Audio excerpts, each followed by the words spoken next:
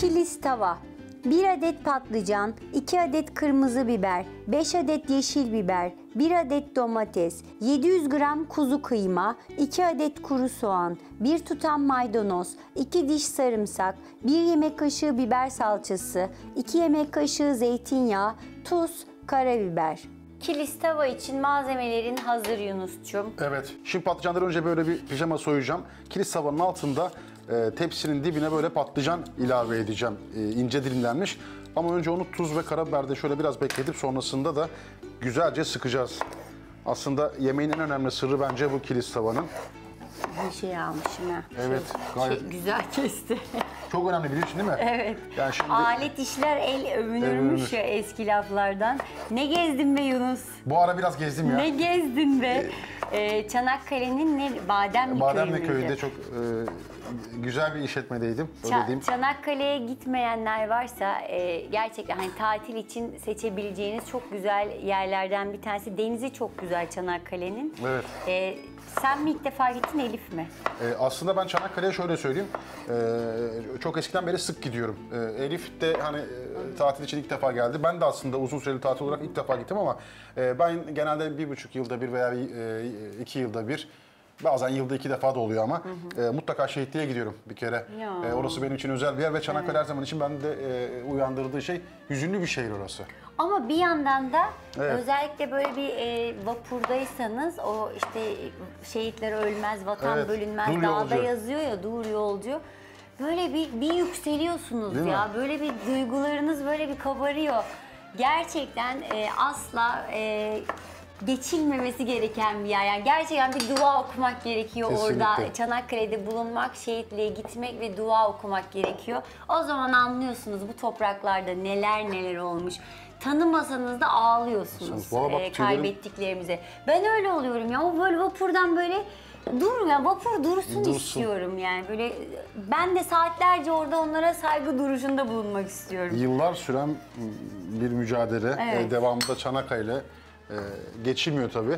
Acı hatıraları vardır bizde. Yunus Şimdi tuz atarız sen bir de karabiber, karabiber. attın. İşte bu. Mesela kilis, e, kilis tavayı hepiniz bir şekilde bir tarifte görmüşsünüzdür. Mutlaka yapıyorsunuzdur. Her yemeğin önemli kritik noktaları var. İşte bu patlıcanı böyle karabiberle e, hafif e, ezmek ve biraz sonra ikinci kritik noktasını gö- şey yapacağım, göstereceğim. Tepsiye dizdikten sonra da üstüne bir karabiber atacağım. Karabiber patlıcana çok lezzet verir etle birleştiğinde. Bir acı tadı var onu alıyor. Onu tuzla muhtemelen. beraber alıyoruz. Evet. Karabiber de kendi başına böyle bir e, Tamam. aroma veriyor. Şimdi doğramaya başlayacağım. Öncelikle şurayı bir hemen şöyle alayım sana zahmet. Bu tarafa atalım. Şimdi e, ben her zaman söylüyorum, küçümsemek için söylemiyorum. Tam tersine ben mutfakta pratik olmayı çok seviyorum. Yani girip saatlerce uğraşmayı değil, e, girdiğimde bir saatte, iki saatte pratik bir şekilde böyle Hızlıca. bir sürü yemek çıkarmayı seviyorum, çeşit seviyorum. Sen de çok öyle Çok bir adamsın. Hemen böyle bir bakarsın Yunus bir sürü şey yapmış.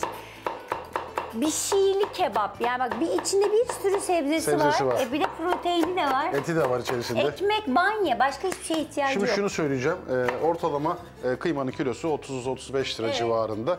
600-700 gram kıymamız var. Yani ne yapıyor? E, 15-20 lira arası bir maliyeti var. İşte 20 liraya evde 4 kişi ekmek bana bana bir kebap yiyorsunuz. Bu çok önemli yani. Normalde bir kebabın porsiyonu artık dışarıda 20-30 lira oldu. Ama bir de çok lezzetli bir şey yiyorsunuz. E, dolayısıyla bence kaçırılmayacak bir tarif. Hele bu aylarda domates, sebze, patlıcan hepsi lezzetli. Ondan dolayı sıkça yapabilirsiniz. Hepsini doğradıktan sonra döşeyeceksin. Tabii hepsini doğrayıp kıymayla karıştıracağım. Sonrasında da Tamam. güzelce ayarlayacağım. Şimdi e, bir tane kırmızı biber, bir iki tane yeşil biber, biraz maydanoz ve sarımsağı ince ince doğrayacağım.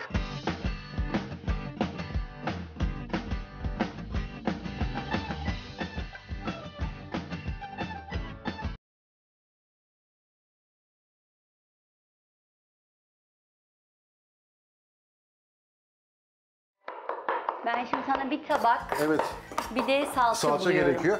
Şimdi e, kırmızı biber, yeşil biber, sarımsak ve maydanozu ince ince doğradım. Biber mi istiyorsun? Evet, biber salçası. E, domates de kullanabilirsiniz eğer çok biber salçası Ben sevmiyorsanız. severim. Antep, Evet. Antepliler hep biber salçası, Biber salçası kullanır kullanıyor. ağırlık olarak. Şimdi ben e, kullanacağım tepsi bu. E, yemeği bunda fırına vereceğim. Şimdi yemeğin ikinci sırlarından bir tanesi de lezzetli olması için kullanacağım tepside karıştıracağım tüm malzemeyi. Tamam. Bu da e, kıymanın kendi yağının tepside kalmasını sağlıyor. Yani bu aslında biraz böyle kendi yağında falan güzelce ekmek banarak yenmesi gereken bir ana yemek. Şimdi önce malzemeleri karıştıracağım. Ben bu arada malzemeleri karıştırırken senden şey rica etsem. O e, patlıcanları iyice sıksam mesela. Hemen. Kurulamayayım değil mi? Yo yo iyice sıkacağız böyle elimizde. Şimdi ince doğradığım malzemeleri tepsiye aldım. Kıymayı ilave ettim. Genelde yağlı bir kuzu kıyması tercih edilir. Tek çekim olmasına dikkat etmeniz gerekiyor. Ama biz kuzu eti yiyemiyoruz diyorsanız e, biraz lezzetsiz olacak ama dana kıymasıyla da yapabilirsiniz. Biber salçasını ilave ettim içerisine. Burada hemen baharatlarını ilave edeceğim. Tuz atıyorum. Şimdi biraz karabiber ilave edeceğim. Ne kadar ince kesmişsin Yunus. Evet evet o ince olacak ki altta güzelce şey olsun diye. Lokum gibi bir şey olur yani. Şimdi güzelce elimle karıştırıyorum. Of. Bunu sokakta böyle bir çarşı var ya Antep'te. Evet.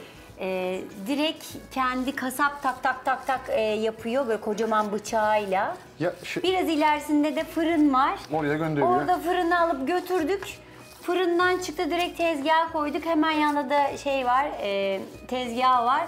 Ekmeğini alıp bana bana yemiştik. İyi. Ben hayatımda böyle bir şey yemedim. Şimdi burada görüyorsunuz sebzeli bir kıyma oluştu. Evet. Biraz salça ilave ettim, tuz, karabiber, sarımsak, maydanoz, yeşil biber ve kırmızı biber. Tam oranı bu. Bir kere rengarenk oldu köftemiz gördünüz. Yağlı öyle bir et herhalde tercih Bu yağlı bir et daha da yağlı olabilir. Çok Salacak sorun değil. Tabii tabii kendi çünkü. biraz yağında. Şimdi eti bu tarafa toparlıyorum. Tamam. Şöyle güzelce. Gördünüz bu tepsi de fırına girecek. Şimdi patlıcanlarım burada. Ben biraz az önce sıkarken tereddüt ettim parçalamayayım diye. Sen bildiğin cıllığını çıkardın. Şöyle güzelce hepsini parçaladım. Şimdi bunları tepsiye yayacağım. Görüyorsunuz tamamen paramparça. Hem hızlıca pişecek. Patlıcan kalın olursa geç pişer. Eti pişirir, alt, e, üstündeki kıymasını pişiririz ama altı pişmeyecek. Ya Antep'in Pişmemiş olur. havasından mı, suyundan mı, sıcağından mı bilmiyorum ama oradaki patlıcanı burada yakalayamıyoruz Yunus. Ama her bölgenin patlıcanı değişik. Genelde Antep'e de Bilecik tarafından patlıcan gelir. Yunus yüzüğünü çıkarmamışsın. Evet. Hiç çıkarmıyorum. Yemek yaparken... De- nerede? Benimki, ya benim Ya. çok komik ya. Murat şimdi ben e, gerçekten takı takamıyorum. Öyle bir alışkanlığım yok. Bana buraya yüzüklük aldı Yunus bak. Vay Buraya süpermiş. takayım diye çok hala güzelmiş. kullanamıyorum. Olmadı bizim Beyzalarla gönderiyor. Ben herhangi bir yerde Evet, çıkardığım çıkardım. için al bak yüzüğünü unutmuşsun Murat takipte. diyor. Takipte evet. Şimdi işte bu yemeğin lezzet noktası. Ben daha ne yapayım? Murat diyorum başka bir şey demiyorum. Üzerine karabiber döktüm tekrar patlıcanların. İşte bu Evet. eti çok lezzetli hale getirecek olan şey o üzerine döktüğüm karabiber tekrar patlıcanla birleştiğinde çok keyifli olacak. Biraz zeytinyağı döküyorum ben üzerine. Hafif yağsız geldi kıyma gözüme.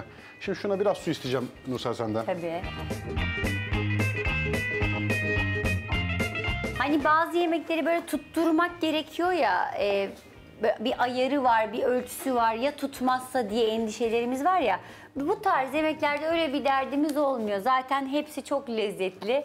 E, salçası eğer güzel olursa Antep'ten getiriyorum ben de salçamı. Eti, sebzeleri birleştiği zaman muhteşem bir sonuç çıkıyor ortaya. Daha ne olsun. Şimdi elimde böyle hamburger köftesi gibi köfteler yapıyorum. Onları böyle burada birleştireceğim. Birazcık çok bile sanki etin. Daha ince hatırlıyorum ben. Daha ince de olabilir. Ama ben biraz böyle ele gelsin istiyorum. Şimdi açacağım zaten bunları yavaş yavaş. Evet daha yayacaksın Evet değil evet mi? tabii. Şöyle yayıyorum. Biraz da şuraya alacağım. Elime su yardımıyla eti incelterek açıyorum patlıcanların üstüne. Kenarından dışarı çıkabilir. Çok sorun yapmayın. Yani e, genelde kiliste biraz daha az e, patlıcan konuluyor. O yüzden a- kenarından çıkmış görmezsiniz ama çok patlıcan koyduğunda lezzet gerçekten daha da değişiyor. Elinizde patlıcanları koyuyor. Şöyle koruyarak yaymaya başlıyorsunuz. Sonra eksik kalan yerlere buradan kıyma takviyesi alın. Amaç böyle bir etrafında yuvarlak yapmak. Zaten Kıymayı bir kere de top gibi koyup uğraşacağına Yok evet parça parça. e, patchwork gibi böyle yavaş yavaş ekliyorsun. Biraz su alacağım şimdi. Hem su üzerindeki kıymayı rahat kaydıracak. Sonra kalanları böyle ilave ediyorum gözümün takıldığı yerlere. Kenarına bilerek boşluk bırakıyorum. O yüzden biraz daha büyük bir tepsi e, çektim. Neden? E, çünkü sebze dizeceğim. Ha kenarlarına Kenarına. dizeceksin. Şimdi burada önemli bir şey, bunu göstereceğim size. Ee, biraz daha fazla kıymayla daha kalın olur ama şimdi şöyle yapacaksınız. parmaklarınızı vurduğunuzda buradan çukurları görüyorsunuz. Çukur ne kadar derinse kıyma o kadar fazla demektir o bölgede. Fazla olan taraf elinizin ön tarafı bu tarafına gelecek. Buradan alacaksınız böyle az olan yere doğru kıymayı kaydıracaksınız. Sonra yanlarından. Bu da sizin tamamen kıymanın eşit düzeyde patlıcanların üzerine yayılmasını sağlayacak. Dolayısıyla hepsi aynı anda lezzetli bir şekilde pişecek. Nasıl gözüküyor? Muhteşem. Şu anda bile atılsa patlıcan ve et zaten çok Süper güzel olur. oldu. Şimdi hemen etrafını ayarlayacağım. Soğan dilimleri. Ee, kebabımız sarımsaklı kıyması ama soğanı kenarına koyuyorum. Bazen soğan da çekiyorlar ama kilis tava genelde sarımsaklı olur. Hele bir de taze sarımsak varsa onun yeşil kısmını bol çekersiniz içerisine.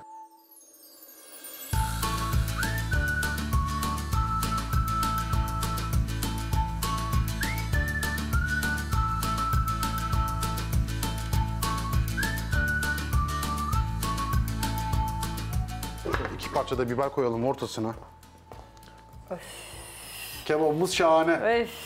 Şimdi fırına atacağız. Yaklaşık 180-190 derecede. Şimdi bunu sabahtan hazırlasak, akşam mesela misafirimiz gelecek, pişirmesek durur mu böyle? Ee, Şöyle olacak, e, üzerine iyice bir e, streç çekmeniz gerekecek. Çünkü o sarımsağın kokusu her tarafa yayılır. Şu anda bile bak stüdyoda Ha, gayet lezzetli bir koku var. kokar. Senden bir ricam var. Şu yağlı, hafif soğanların üzerine bir yağlayacağım Nursel.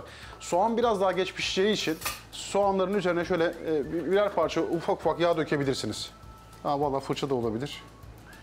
Çok yağ Evet. yapmayayım. Yok soğanların olduğu yere yaparsan soğan çünkü bu sebzeler arasında ve et arasında en geç pişecek olan malzeme. Soğanları yağlarsak yeterli. Aklınıza bulunsun. Bu da pratik. Hem böyle soğan hafif yanık çıkıyor içinden. Çok da lezzetli oluyor. Biliyorsun genelde biz böyle yemekler yerken yanında pişmiş domates, biber, soğan daha çok sevilir şeyle.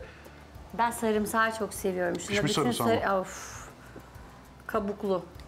Tamam. Şimdi doğru fırına. 180-190 derecede ortalama 30 dakika. e, 200-220 derecede 25 dakikada pişer ama patlıcanlar belki biraz pişmeyebilir. E, 190 derece bizim için yeterli. 30 dakikada süremiz var. Ellerine Kilis tava fırına gitti bile. Çok teşekkürler. Bile. Topar